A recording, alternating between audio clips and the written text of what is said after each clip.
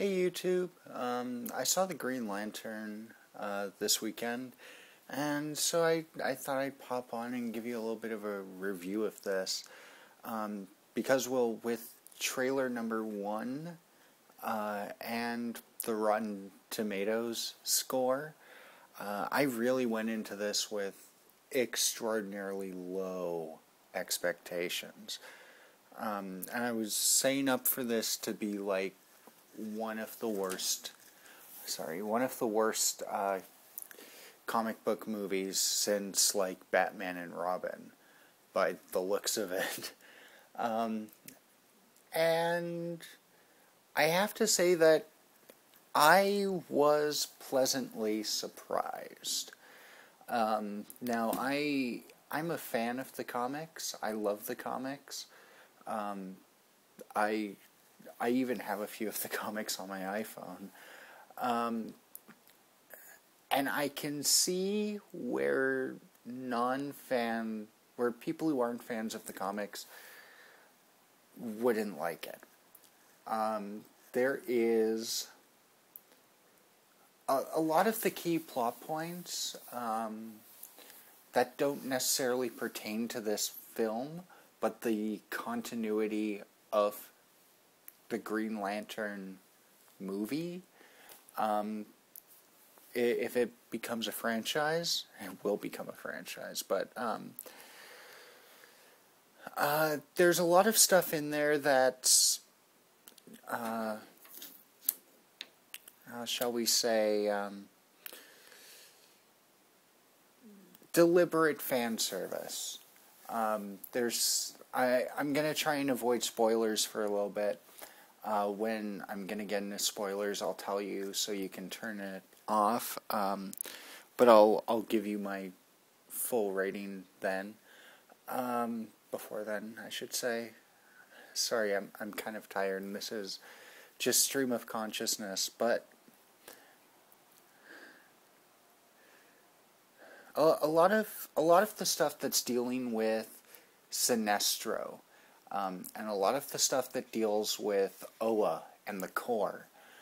uh, a lot of that is, they kind of expect you to know where they're going with it. Um, and if you don't, you're going to be lost. Um, like I, I watched, uh, I watched Brad Jones's review uh, of the midnight screening, uh, and he just slammed this movie. The, the Cinema Snob. He just slammed this fucking movie. Um, and I can understand why. Because most of it, like, as a fan of the comics, you get a line to kind of guide you, but if you're not, and you don't pay absolute, like, dead focus attention to some of the uh, some of the parts of the movie, you are going to be so lost, so lost. Um, so I, I, I think that the movie is is made for fans. Now, a few of the pleasant surprises in this. Um, Ryan Reynolds does a surprisingly good Hal Jordan. I thought that he was going to be the the low point of the movie going in. Um, I was wrong. He he held it together. Um, and those moments like where he's uh, where he's you know being a playboy and getting up out of bed and all that. Uh, what you saw in the trailer is the full extent of that scene, and the same goes for all the kind of like trite bullshit like uh, this guy's playing Hal Jordan kind of shit. Um, and in the movie, it actually makes a lot more sense, and it doesn't it doesn't seem so kind of groan worthy. Like when he uh, when he shows the suit to his friend, um, for example, uh, that that works better in the movie than it does in the trailer. In the trailer, it, it was one of the things that made me not want to see the movie.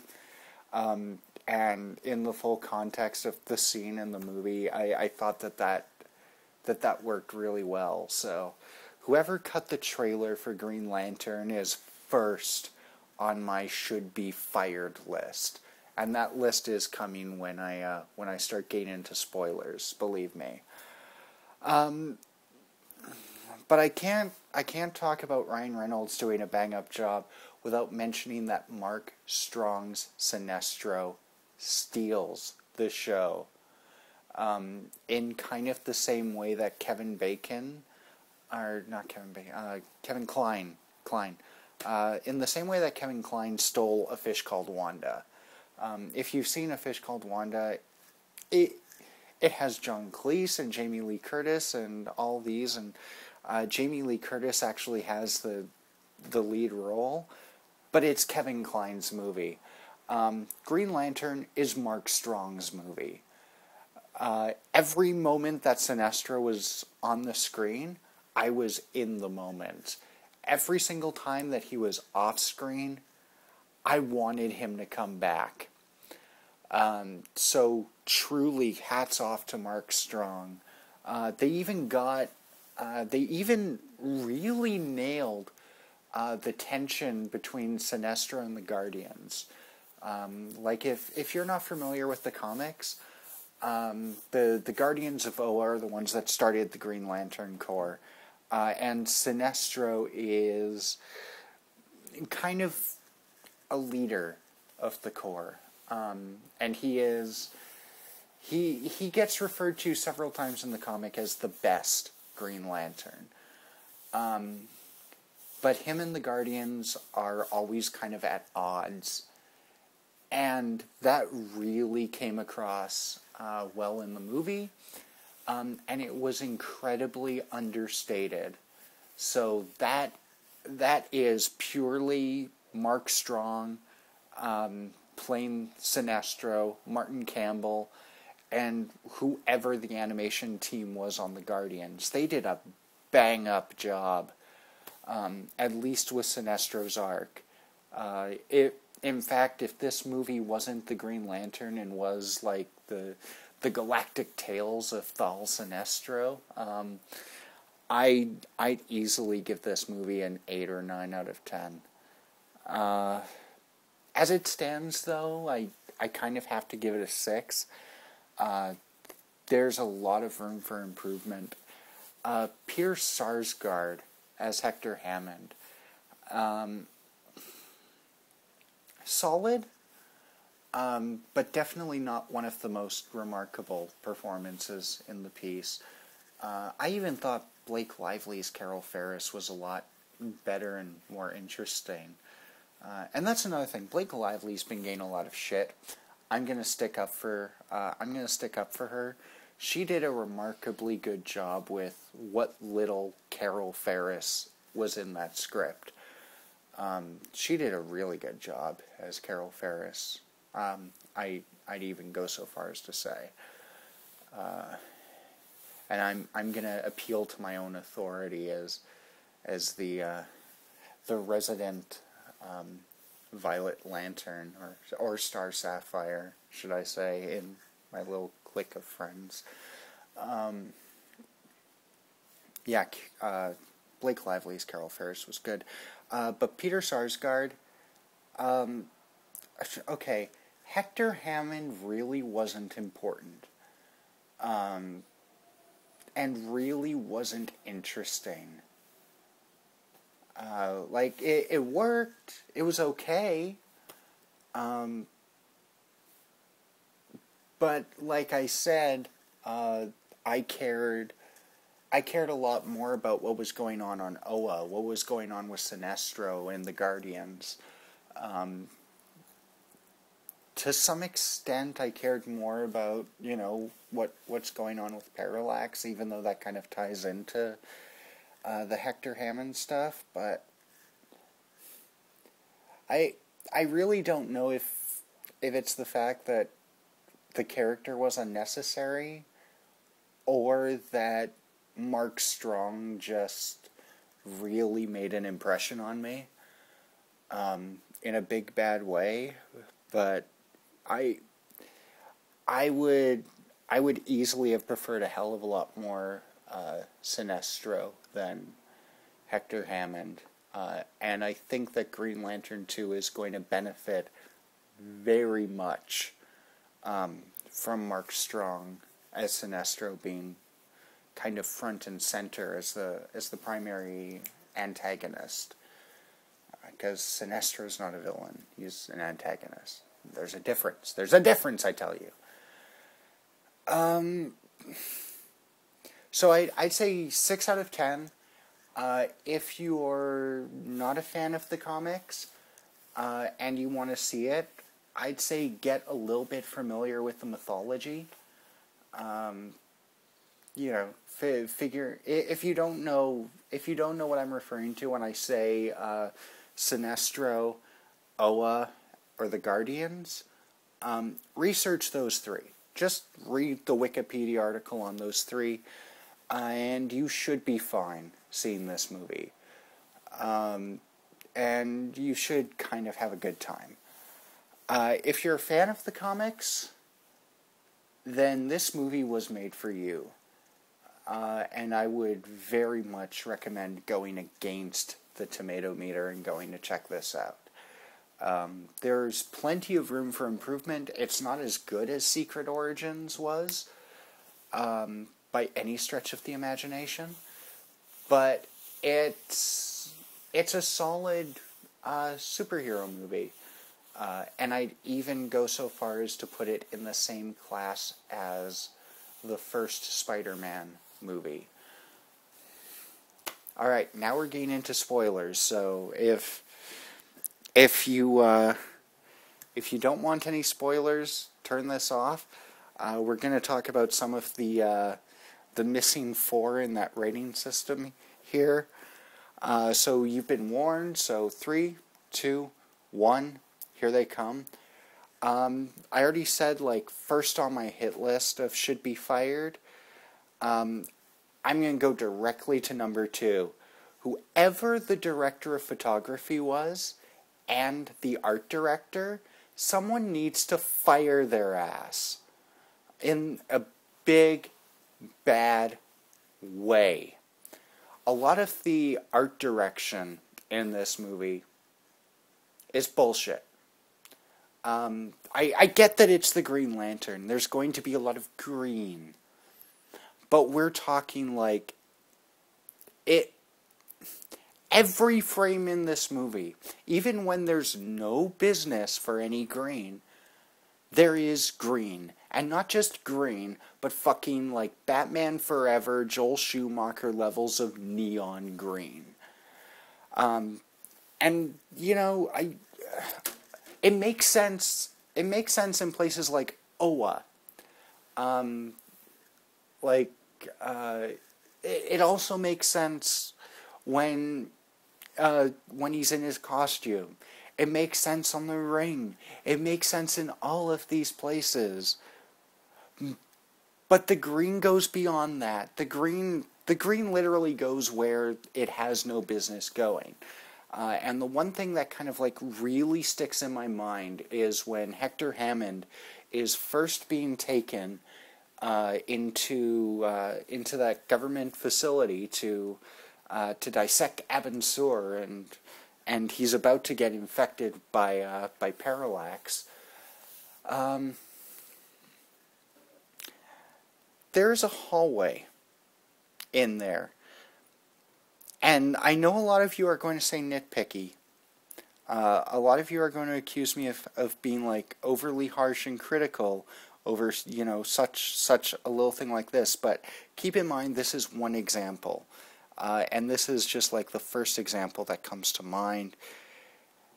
And just imagine for a second how gaudy and batshit insane this is. Um, so, Angela Bassett, I think, uh, comes out uh, and meets with Peter Sarsgaard, Hector Hammond, and kind of pseudo explains. But the corridor that she comes out of is like this. Um, it, it's a rounded. It's a rounded hallway. It's like she's walking through a cylinder, but that cylinder has all around it, like spaced about three feet apart, tubes of neon green going around it. I couldn't take my fucking eyes off of that when when I saw that. My only thoughts were, why? That makes no fucking sense. It, it,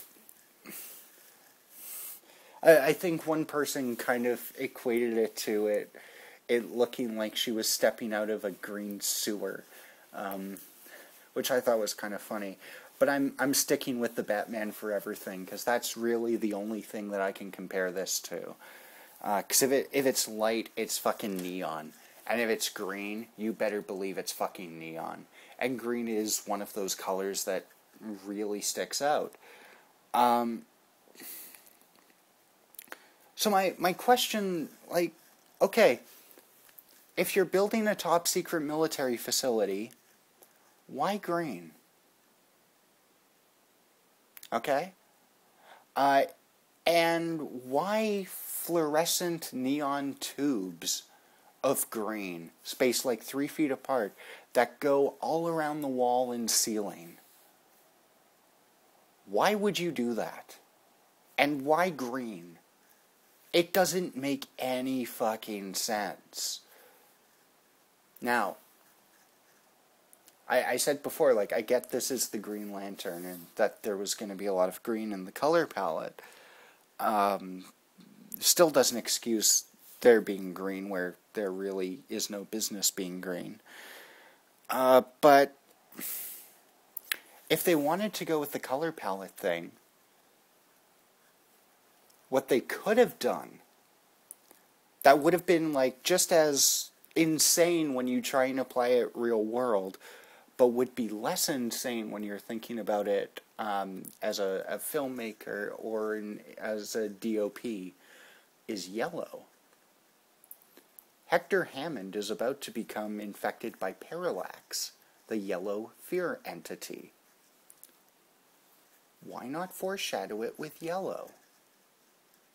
If if you're going to go in that in that direction with like neon saturated color palette um, and kind of beat stuff a little bit over the head, why not do it in a way that's a little clever and, and possibly makes a bit more sense?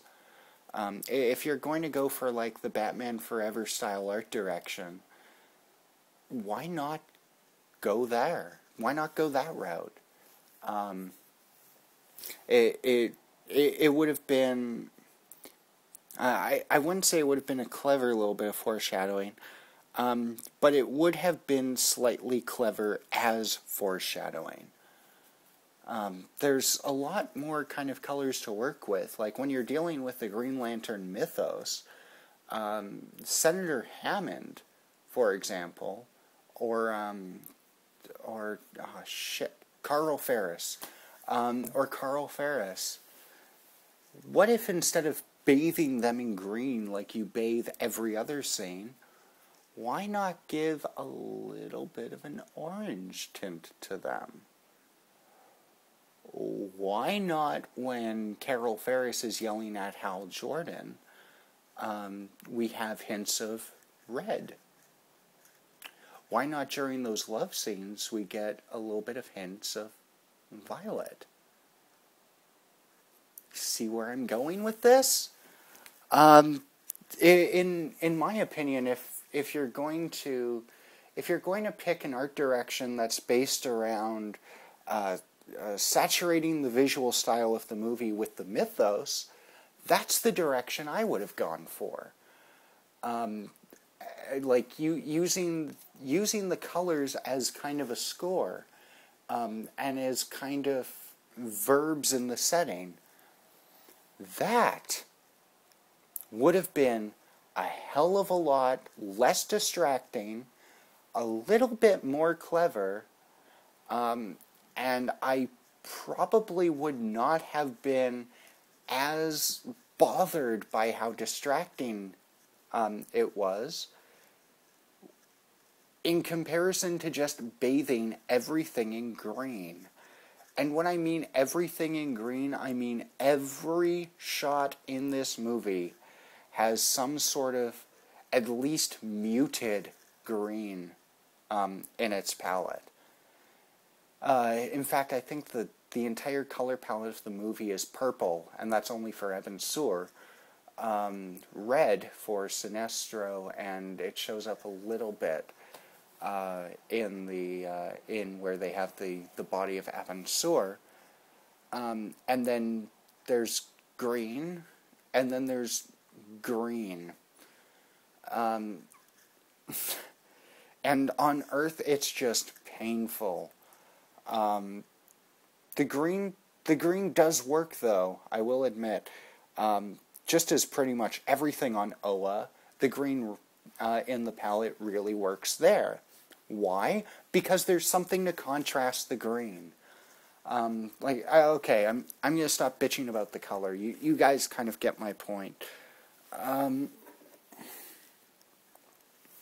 another thing, uh, when Hal has the flashback, uh, that and the the plane is about and his plane is about to crash. That reminded me of Secret Origins, which handled that part of the story a lot better and a lot more cinematic. Um, in fact, a lot of a lot of the times where I felt that something wasn't working in the movie, um, I almost longed for for them to have just handled it the way that Secret Origins did. Um, Secret Origins also, by the way, has just a much better opening. A much, much better opening for establishing Hal. And this is supposed to be about Hal. This is an origin story. Um, so we want to know more about Hal. Uh, having those kind of very disorienting flashbacks um, as the plane was crashing just kind of felt tacky. Uh, and not tacky in the way of like uh, next on my hit list is the editor because it's not nearly as grievous as the pervasive green but um, but I, I I kind of I do have to bring that up that that was really clunky, um, extraordinarily clunky. Uh, and like I say, a lot of a lot of the times that I felt that something just kind of didn't work, I wanted them to handle it the way that Secret Origins did, um, and it, it's almost impossible for me to divorce this movie from that comic. Even though there's a lot different, and Secret Origins is in one continuity and this is in another, um, Secret Origins just its its narrative structure uh, and its color palette and its visual style um, was just light years beyond what was in this movie. Um, and that really does kind of hold the movie back, uh, in my opinion, anyway. Uh, something spoilerish that worked. Uh, I'm I'm I'm gonna kind of leave it at the uh, at the Sinestro thing because I'm already way longer than I'm sure most of you are interested. Um, but the way that they handled the creation of the Yellow Ring, I thought really made sense. And I've heard a lot of fans of the comics, um, in Stickam uh, at least, complain about that. Um, but I thought it worked. It really made sense in the context of the story. Uh, how how Sinestro basically uh, tries to get the Guardians to fight fear with fear. Um, really, oh. Every single, I'm, I'm not joking, every single time that Sinestro was on screen, I was there. Every time the Guardians were on screen, I was there. Every single time the both of them were on screen, I just wanted a movie about Sinestro talking to the Guardians um, at one point. Because, ah, shit, that was so good. Um, so good. Uh, e- easily, easily, Mark Strong brings it up uh, to a six. Um, I I would I would be agreeing with the tomato meter a hell of a lot more if it weren't for Mark Strong. And I'm not even a big Sinestro fan. Um, this movie kind of changed my mind. Um, but no, the the Guardians. Um, the the idea of the Guardians feeling fear was cool. Um, the the the fact that Hal kind of challenges the Guardians was a bit cliche, um, but the implications of that scene were cool. Um, the whoever was playing the Guardians was so good. Um, and when I say so good, I mean so good. Um,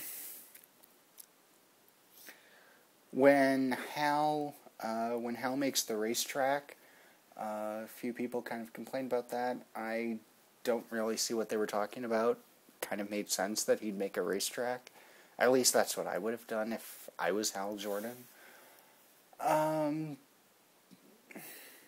sorry, this this is a little disorganized and long. I'm I'm kind of wrapping it up, but yeah, uh, six out of ten.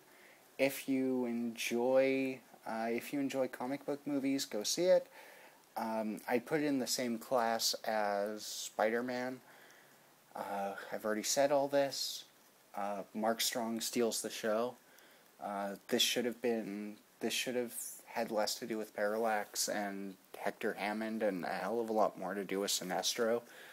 Um, in fact, you know, keep Parallax. Um, just replace every moment of Hector Hammond with Sinestro, and oh, the movie would have been so much better. Uh, that that is another thing, and this is a huge spoiler. Um, kicking Parallax into the sun? Really? The comic book part of my brain, um, the, the comic fan part of my brain, went, oh man, that makes about as much sense as when Superboy Prime punched reality and brought back Jason Todd. Um, it, it, and the logical part of my brain that's really into physics um, and that just like gushes over physics went that's about as bad as that time that Superman spun the earth backwards to reverse time. Um, that's really all I have to say on that. Hal should have been sucked into the sun along with Parallax. Um, and I don't care if Sinestro, Kilowog, um, and Tomar-Re were there to save him. Nothing could have stopped Hal from getting sucked into the sun's gravity at that point. Um, and when Parallax crashes into the sun, they really want they really make it look like the sun is about the size of the moon. Which, oh. But yeah, um, I, I'm complaining about physics in a superhero movie, but that that kind of shit does kind of like stick out like a sore thumb at me. But uh, other than that, I recommend it. I think that the tomato meter is wrong. Um, and yeah, that's that. Peace. Sorry for this review being about half an hour long. Bye.